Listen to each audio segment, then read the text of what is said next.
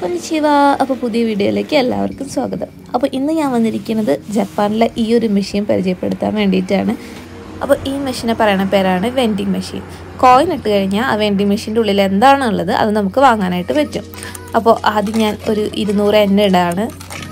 അപ്പോൾ ഞാൻ നൂറ് എണ്ണിന്റെ രണ്ട് കോയിൻ ഇട്ടു. നൂറ് എണ്ണിന്റെ രണ്ട് കോയിൻ ഇട്ടിട്ട് ഞാൻ ഒരു ഡ്രിങ്ക് സെലക്ട് ചെയ്തു. അപ്പോൾ ഇതാ ഡ്രിങ്ക് വീണു. ഇപ്പം നമുക്കത് അതിന്റെ ഉള്ളിൽ നിന്ന് എടുക്കാം. അതോടൊപ്പം തന്നെ നൂറ്റി നാൽപ്പത് എണ്ണ ആയിരുന്നല്ലോ. ഞാൻ ഇരുന്നൂറ് എണ്ണ ഇട്ടിട്ടുണ്ടായിരുന്നു. അപ്പോൾ അതിന്റെ ബാലൻസും ഉണ്ട്. ബാലൻസ് ഇതാ ഇവിടെ വരും.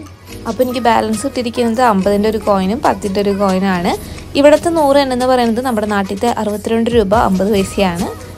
അങ്ങനെ ഞാൻ വീടെത്തി ഡ്രിങ്കൊക്കെ കുടിച്ചു. അപ്പോൾ അടുത്ത വീഡിയോയിൽ കാണുന്നവരെ ബൈ ബൈ ടേക്ക് കെയർ